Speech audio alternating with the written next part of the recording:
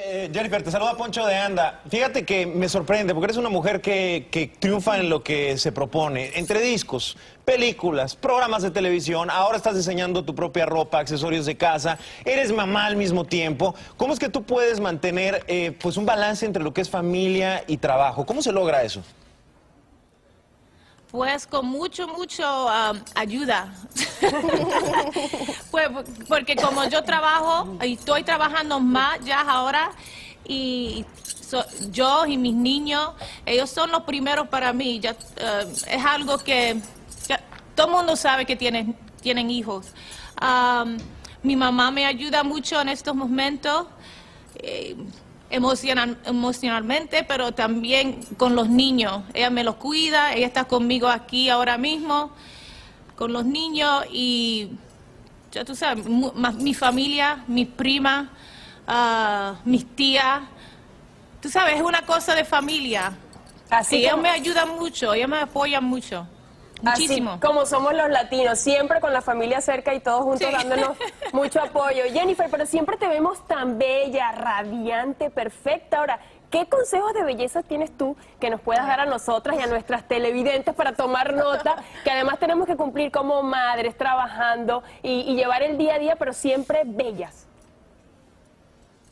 Pues es algo, gracias, muchas gracias primero, pero es algo que tú sabes, cuando tú, tú, tú tienes niños y tú estás trabajando, no es fácil cuidarte a ti misma, pero también es importante cuidarte para estar bien para ellos. Porque cuando tú te sientes bien, ellos se sienten bien. So, es, es algo que tú tienes que hacer, aunque es difícil a veces.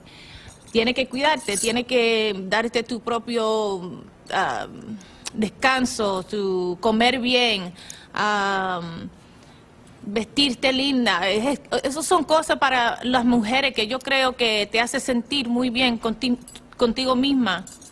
La autoestima es importantísima. Hola Jennifer López, yo soy Raúl González, soy tu futuro esposo, aunque no lo sabes, no tienes ni idea, ni me conoces ni nada, pero de verdad que, eres lo máximo, te quiero mucho. Mira Jennifer, tú has conquistado el mundo de la música, has conquistado el cine, la televisión y hasta las tiendas por departamento. ¿Qué te queda por hacer tanto en tu vida personal como profesional, Jennifer? Pues en, en mi vida profesional nada más quiero seguir.